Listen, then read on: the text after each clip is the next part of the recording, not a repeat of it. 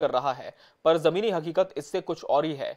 इससे समुदाय को आज भी शिक्षा और स्वास्थ्य जैसी मूलभूत सुविधाओं को हासिल करने के लिए जूझना पड़ता है।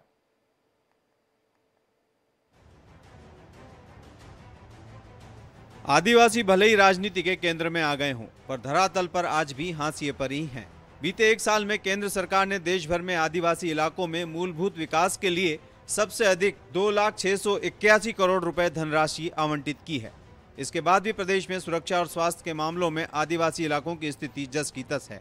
हाल ही में जारी केंद्रीय जनजातीय कार्य मंत्रालय की वर्ष 2021-22 की एनुअल रिपोर्ट के मुताबिक मध्य प्रदेश में बीते एक साल में आदिवासियों पर एस्ट्रोसिटी के मामलों की संख्या में भी बढ़ोतरी हुई है। साल 2021 में आदिवासियों पर देश भर में अत्याचार के 8,802 मामले दर्ज हुए जिसमें सर्वाधिक 2,627 केस मध्य प्रदेश के हैं। जिसमें बीते साल की तुलना में नौ फ़ीसदी का इजाफा हुआ है। भारतीय जनता पार्टी की सरकार, पक्का मकान, पक्का रसोई, निःशुल्क राशन, आयुष्मान भारत, स्वास्थ्य की सुविधाएँ, पढ़ाई लिखाई, दवाई की चिंता लगातार कर रही है। कांग्रेस की डेढ़ साल में मध्य प्रदेश की हालत बदतर हुए हैं। लगातार भाजपा इन वर्गों के तरफ़ बुनियादी सुविधाओं को लेकर काम कर रही है। सिर्फ़ आदिवासी समाज परेशान है उसकी ना सुरक्षा का कोई बंदोबस्त है ना शिक्षा का कोई बंदोबस्त है ना उसके स्वास्थ्य की कोई चिंता है। ये सरकार सिर्फ़ इवेंट की सरकार है सिर्फ़ इवेंट करती है और सिर्फ़ आदिवासी समाज को भ्रमित करती है।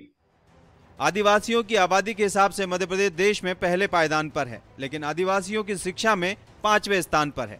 अन्य राज्यों की तुलना में एमपी में आदिवासी समुदाय के ग्रेजुएट व इससे ज़्यादा पढ़े लिखे लोगों की संख्या एक लाख इक्कीस हज़ार सात सौ चौहत्तर है। वहीं मध्य प्रदेश के आदिवासी इलाकों में स्वास्थ्य को लेकर भी स्थिति खराब है।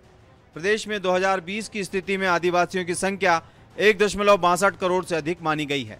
एक रिपोर्ट के मुताबिक आदिवासी अंचल में चौबीस उप स्वास्थ्य केंद्र, चार सौ इक्यानबे प्राथमिक स्वास्थ्य केंद्र 116 कम्युनिटी हेल्थ सेंटर की कमी है।